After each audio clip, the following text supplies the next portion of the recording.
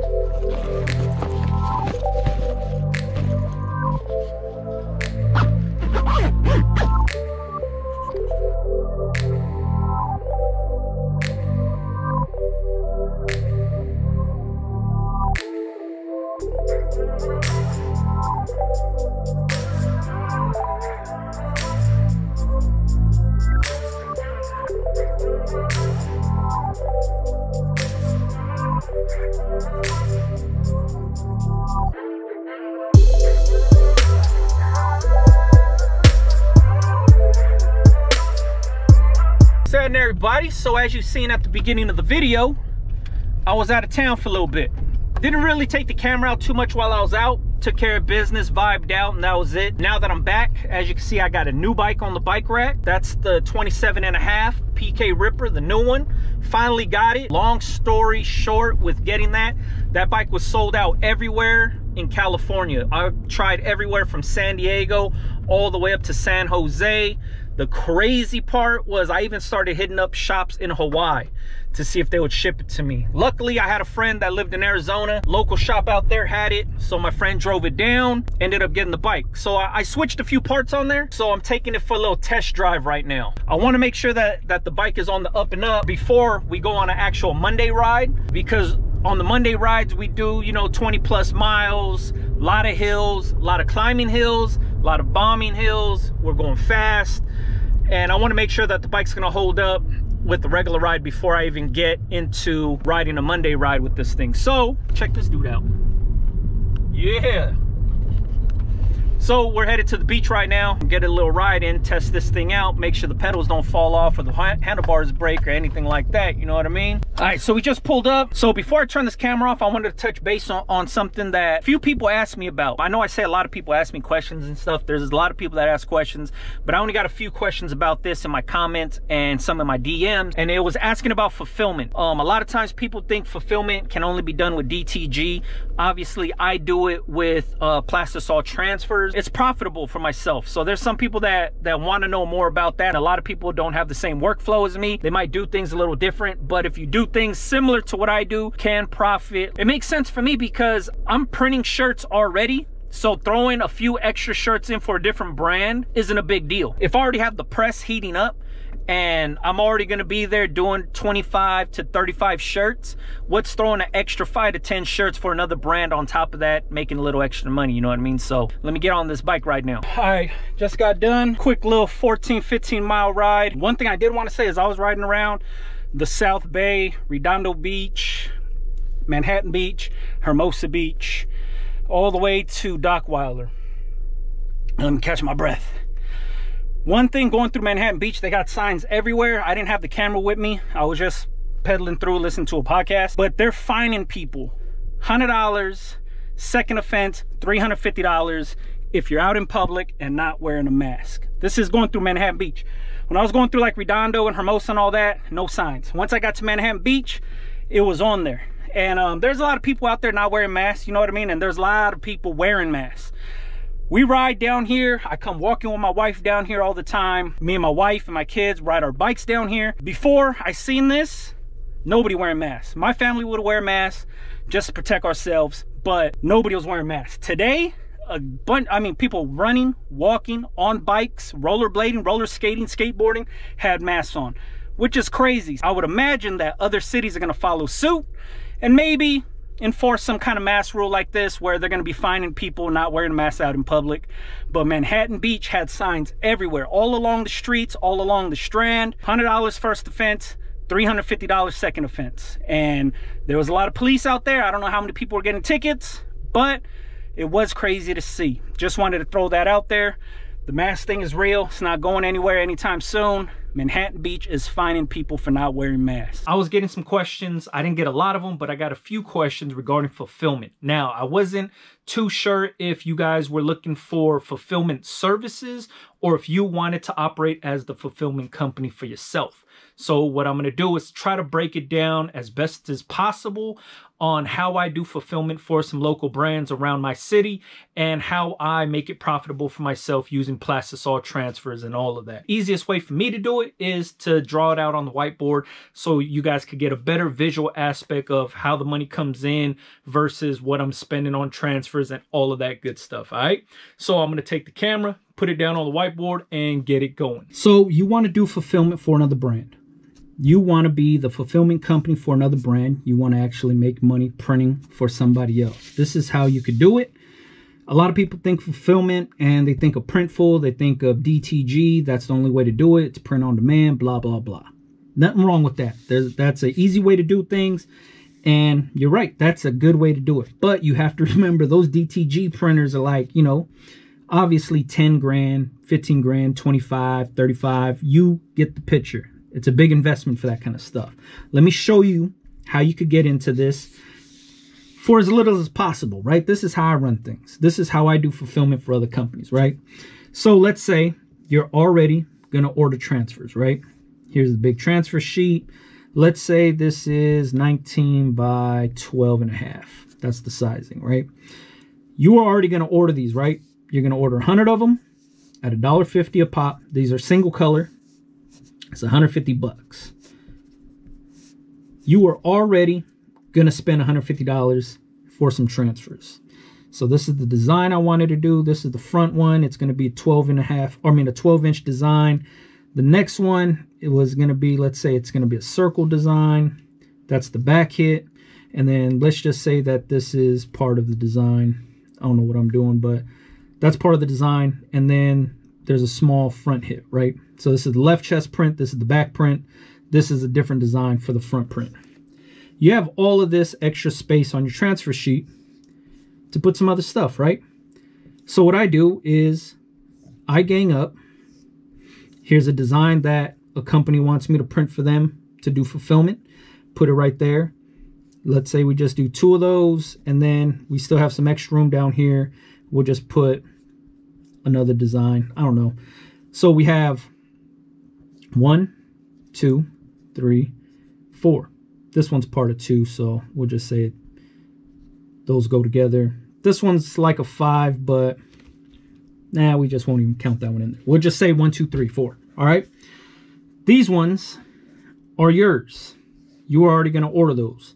These ones right here are for another company. So when this happens right here, right? The breakdown for this is basically each one of these comes out to like 40 cents, right? Maybe a little under 40 cents. This one's 40 cents. You got 100 of these. You got 100 of these. 100 of these. 100 of these. Each one comes out to about 40 cents. You're already going to spend $150 ordering these transfers because you were already going to print this. This was just extra room. This is how I do things. This is for another company. That's for another brand. I'm going to charge these guys 12 bucks. $12 to print this shirt, right? Like I said, it was 40 cents each. T-shirt, Alstyle. Black. I already stocked these, right? All of these right here, I'm already stocking. This is nothing new.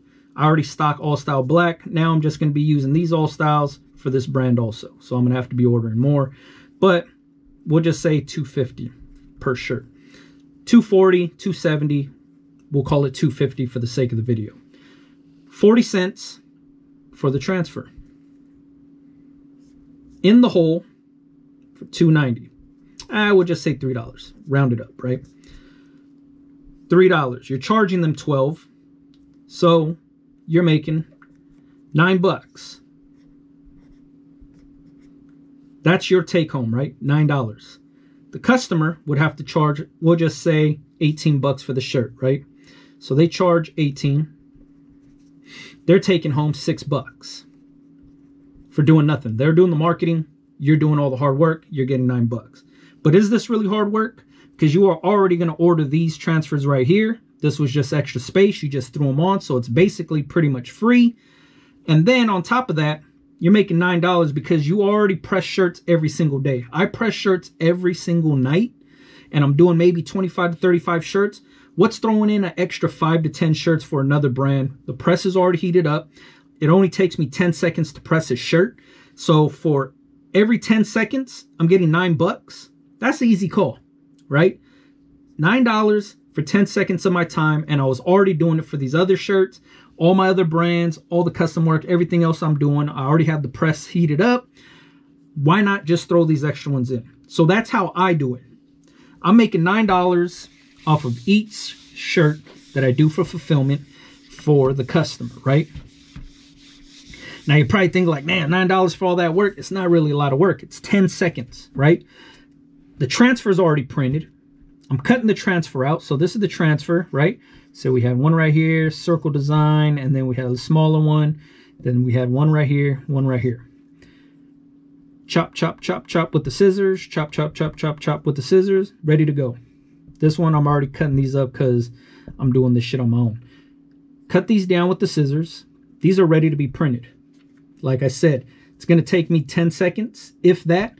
Lay the shirt down, bring the press down 10 seconds, boom, it's done. Shirt's ready to go. $9 for 10 seconds of my time.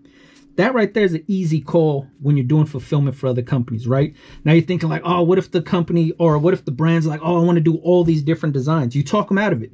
You're the one doing it, right? If you cannot commit to it, then by all means, just tell them like, nah, I can't do that.